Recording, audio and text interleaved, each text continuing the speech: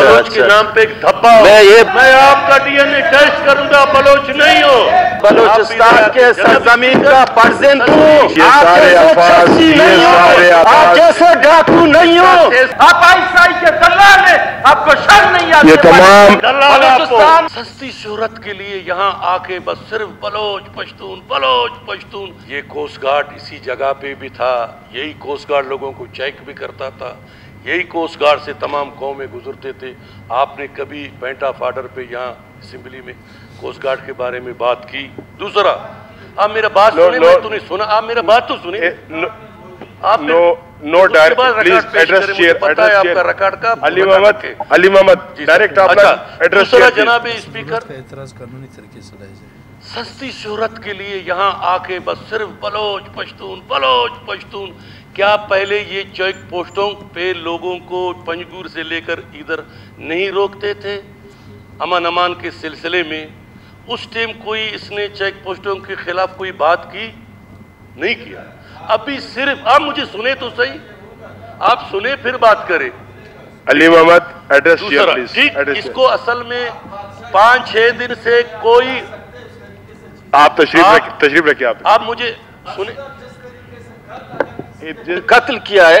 आज आप आके यहाँ कत्ल करते हैं कि कल कोई कत्ल हुआ था आपने कुछ नहीं किया था। हमारी गवर्नमेंट हम खाते ले। हमारी गवर्नमेंट हम लोगों को मारते हैं। ओके, आपकी- देखें ना चीज़ों को मुझे- तसल्ली से तो। दलील के अली साथ मोहम्मद मैंने आपको सुना अली मोहम्मद अली दो मदद नंबर बलोच आपको दो नंबर मैंने सुना ना आप चुप तो करे फिर मेरा जवाब दे।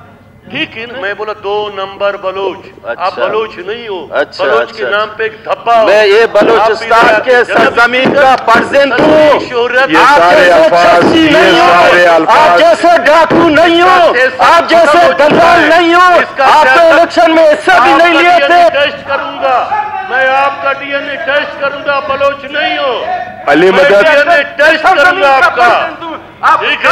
हैं आप एजेंसियों के दल्लाल हैं आप आईसाई के दल्लाल हैं आपको शर्म नहीं आती ये तमाम ये तमाम गैर फालिमानी अल्फाज ये तमाम ये हमारा मुल्क शर्म नहीं आती सबसे बड़ा राय के का दलाल आपको। अली मदद। ये यहाँ जो तू दलाल हो तू बलोचों के नाम पे दबाओ। तू बलोच कहाँ से बलोच आ गया?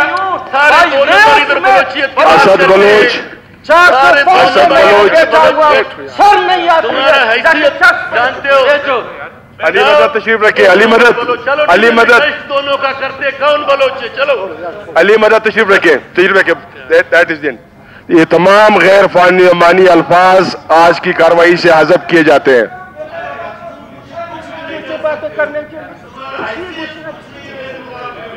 बैठे बैठे अली मोहम्मद बैठे प्लीज़ असद भाई बैठे प्लीज़ तशरीफ़ रखे ये तमाम गैर पार्लिमानी अल्फाज आज की कार्रवाई से हजब किए जाते हैं।